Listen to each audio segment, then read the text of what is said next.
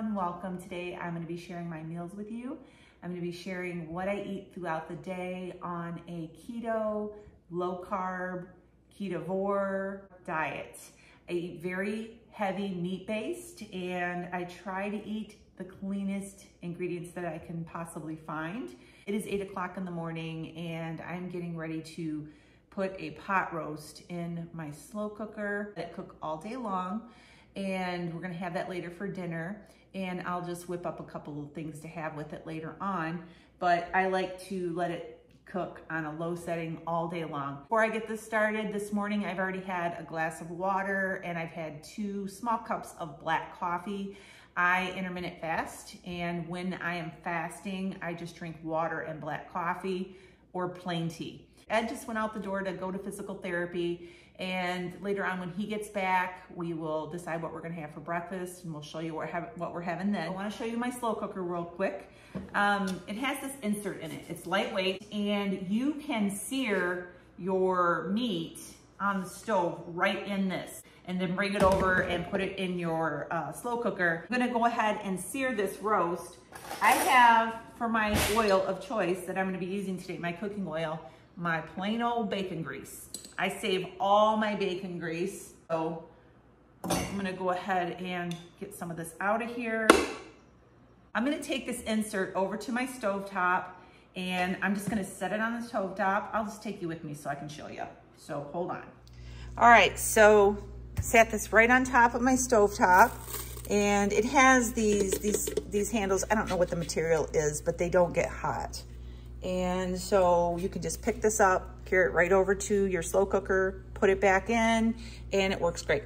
We, we got this roast from Butcher Box. They sent us a box to review.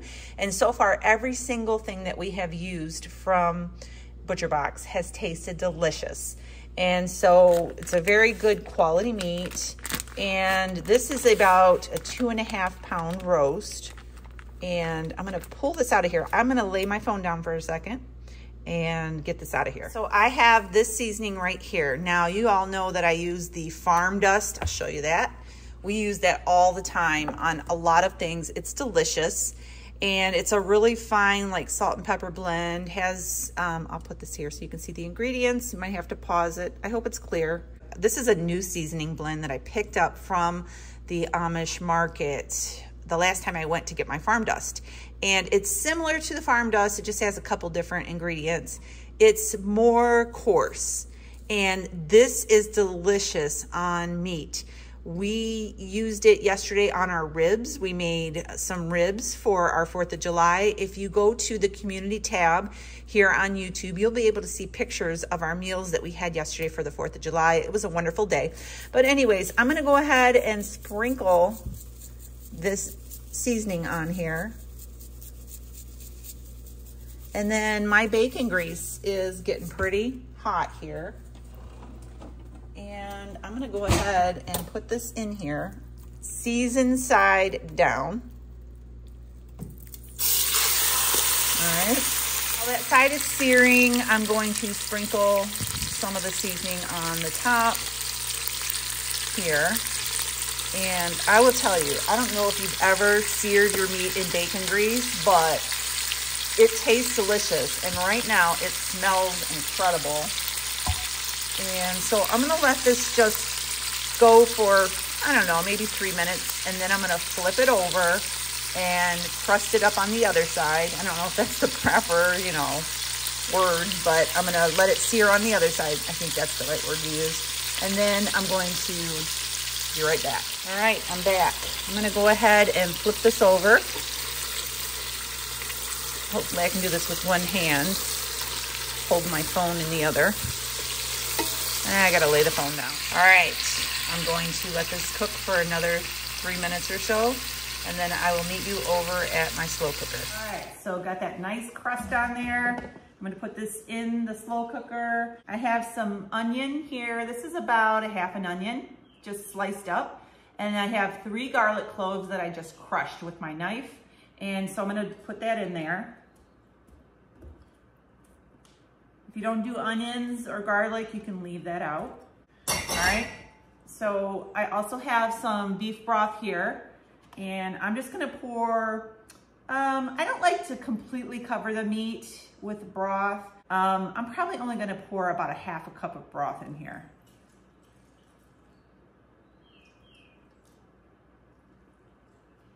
All right.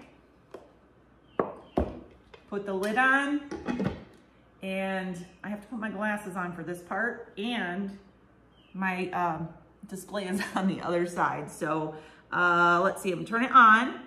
I'm gonna put the mode, it's on high. I wanna put it on, let's see, can't see. I'm gonna put this on low because I'm gonna let it cook all day long. And I'm gonna put it on about seven hours and that's it. We're just gonna let it sit here all day and I'll be back later on when we have our first meal. See you then. I have a different camera angle right now. Um, I have my little short tripod here. I just grabbed it because I was gonna mix up some cinnamon and sugar. I'm gonna be using monk fruit. Um, we're gonna have cinnamon toast with our breakfast today and I am all out of cinnamon and sugar. It's actually monk fruit, granular monk fruit that I'm gonna be using as my sugar sweetener. So um, I'm gonna mix it up in this cute little mason jar. These are adorable. I found these on Amazon and I have a bunch of these with my spices in them. And so I had a spare one. So I thought I would use this because normally I just mix it up and put it in a baggie. And uh, this time I'm gonna class it up a little bit. So I have some granular monk fruit sweetener here. And I don't really measure it out, honestly.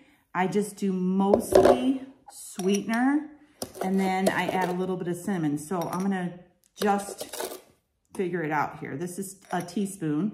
So that's four. This is like a little, I don't know what this is, maybe a two ounce jar. Five, six, let's do, let's do eight teaspoons in this little jar. All right, see that little bit of room on top? You don't need much room for the cinnamon because the cinnamon will overpower it if you put too much cinnamon. It's a really good brand of cinnamon. I like this kind of cinnamon. And I'm just gonna open this up and I'm going to, um, you know what? I'm just figuring out as I go. All right, I'm open up the little pour thing. Probably only gonna put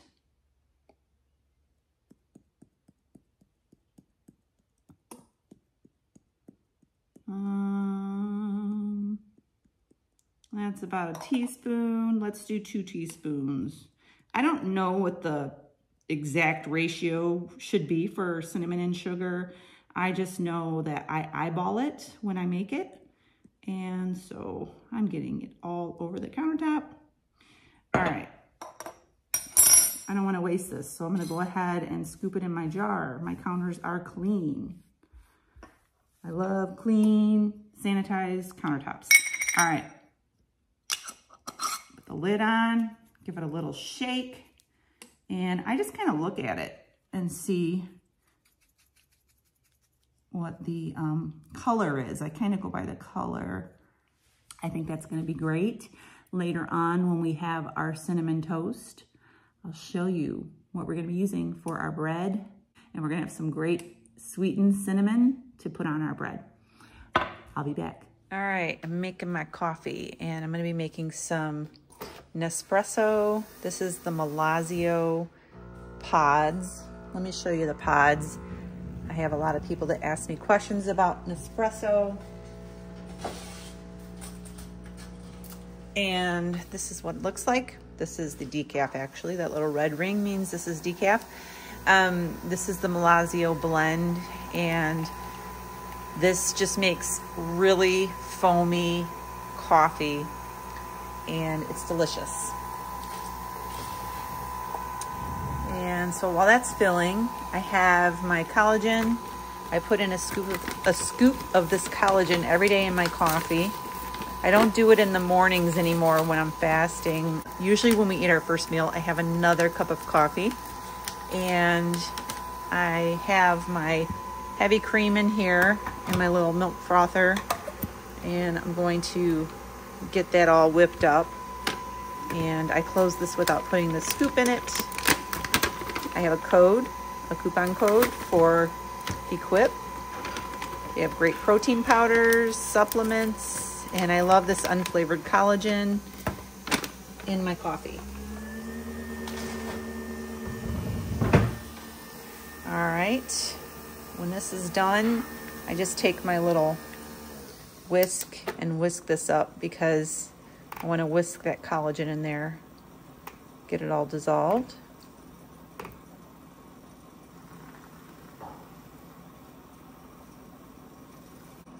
All right, and then as soon as my cream is done frothing over here, I'm going to pour it in. All right. I didn't put that much in there, so I don't think it's going to be really frothy. All right. And there's my coffee. Gonna go over here and have some breakfast. Hi, Callie. Hey, baby. All right, so this is the toast that we're gonna be having for our cinnamon toast this morning. This is protein sparing modified fasting bread. This is made out of egg white powder. I have done videos on this. I will link one at the end of this video. This is, I, I use Maria Emmerich's recipe and I just make it in a regular toaster. You can also put this in the air fryer to uh, toast it up, but the air fryer is being used right now for bacon. So I'm just gonna toast it in the toaster. It doesn't take quite as long to toast as traditional bread does. I have my cinnamon with sweetener right here and butter. And we're gonna get this all together and I'll be back. Bacon, two pieces of bacon, three scrambled eggs, no cheese today, just salt and my cinnamon toast. Look at that. I don't know if you can tell on this side how it toasted up, but it toasts up pretty good. Coffee, we're gonna eat and we'll be back later. All right, I seen something on Instagram and I wanted to try it. I took some pickle juice that I had from leftover pickles and I used some ranch seasoning. This is Flavor God ranch seasoning. Sprinkled some of that into the pickle juice. And then I whisked it up and then I took some chicken breast tenderloins and I wanted to marinate them in this pickle juice because I heard that it's really good to do this. So I took some and put them in the jar one by one, ended up getting about eight chicken tenderloins in this jar. And I am going to seal this jar up and put it in the refrigerator and let it marinate for a couple of hours. And then in a little while, when we have our pot roast, I'm gonna have this as a side. I take these and bread them with my crispy breading and see how they turn out. So I'm in the garage. I wanna show you my new purchase. We just rode out to the town of Tawas and I bought a new e-bike. Um, I have a bike. It is a beach cruiser bike. It's very old and it is very hard to ride on the sandy roads here. We have sand and gravel and the sand is very shifty. And so I have been researching and looking online at e-bikes. And I thought that, you know, that is something that I would, I want to get.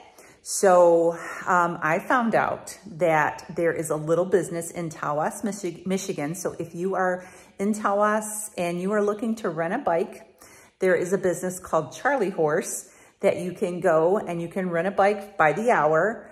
And he has regular bikes and he has um, e-bikes and he also sells e-bikes. And so I went up there today and test drove one and I came back from my test drive. I went about a mile and I said, I have to have this. Go ahead and sign me up. Um, it's a fun little bike. It has the fat tires on it, perfect for the sandy roads up here.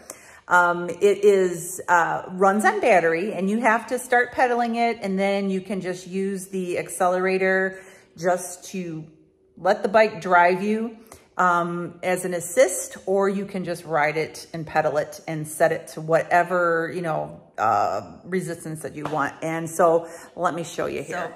So, so here's my bike. It is so cool. It is avocado green and I just love it. I just ordered a little bag that goes on the back of this from Amazon that, um, you know, you can throw stuff in. Like if I want to throw my phone in there or if I go check the mail or whatever, um, I'm going to have that. And this right here, I'm going to zoom in and show you. This is the business that I bought my bike from, Charlie Horse. Very nice guy. And this is the, he told me how to pronounce it, but I know I'm probably gonna say it wrong. So that's the new, that's the name of the bike. I went and bought me a uh, helmet from Walmart right across the street there in Tawas because I don't wanna ride this without a helmet. It can go 25, 30 miles an hour depending on your weight, but it is just so cool. The big fat tires, um, I just love it. He also changed out the seat for a really nice, big, comfy seat has these controls here, has a bell. This little control here where you can see how many miles you're going. I'm gonna go ahead and go for a ride on this thing. It was pouring rain when we came home. I haven't been able to ride it yet, so I'm gonna get on it now. This actually folds up. I forgot to mention that. This folds up so that if you wanna put it in the back of your car, it folds up. It is crazy how it folds up, but um, yeah, I'm gonna go ahead and take this for a ride and I will see you later. I just wanted to show you my new little bike. Okay, that was a load of fun. I went four miles and um, it was so much fun. I really broke this thing in. There's, it's been raining and there's mud puddles everywhere and um, I really broke it in. I highly recommend this bike if you are shopping for e-bikes. All right, so this chicken has been marinating for a couple of hours. And I'm just gonna pull these out of here and I'm gonna dip them in egg. I'm not sure if they even need to be dipped into egg because they've got the pickle juice on them. I like how the egg causes the breading to really stick. So I'm gonna go ahead and get these all breaded like this. And then these are all gonna go into my air fryer and I'm gonna air fry them and we'll let you know how they taste. All right, so it is time for dinner and I'm gonna show you Ed's plate here. This is the pot roast that I've been slow cooking all day today and the chicken tenders. Ed, can you come over and try these chicken tenders? And this is my homemade ranch and he has some Brussels sprouts, something different. Um, so I'm gonna go ahead and make my, my plate, but I want him to try this chicken. I haven't tried it yet, so I marinated it. It's hot, so He's my guinea pig. Does it taste the same? Come into the camera. Give him a minute. I'm gonna try it. It just tastes. Um, it, it tastes better. Go ahead. It just tastes better. Like it has more flavor. Chick Fil A. Um, Ain't got nothing on you. They mar they mar they use some kind of pickle marinade with their chicken, and that's where this idea comes from. Oh yeah, mm -hmm. I can taste it. It's really good. It's, it's, it's much better. It's like flavor explosion. Yeah, it's more. It's more flavorful. It's a little saltier. Mm -hmm. And the ranch, I have ranch in there. Plus we're dipping it in ranch. So that might be not just any ranch, your homemade I know. awesome ranch. I'm gonna try another bite. I'm, t I'm taking all this chicken, but I wanna try it without the ranch dressing. Ooh, it's very hot. Mm -hmm. You can mm. taste it. Mm-hmm. It's good. Mm-hmm. Yep. That crispy breading is the bomb down bomb.com too. You can make Chick-fil-A like chicken sandwiches with that. Oh yeah. It's really good. I like it better mm -hmm. than my traditional chicken tenders. Mm -hmm. Really good. All right. So I'm gonna be having um, roast and some of the chicken tenders and some ranch. And that's gonna be it for the rest of the evening. All right, we're gonna go ahead and sign off for tonight. So, um, really good. I hope you got more. Mm, I do. They're in the air fryer. So make sure you subscribe and give us a thumbs up. we'll see you really soon. Have a great day. God bless.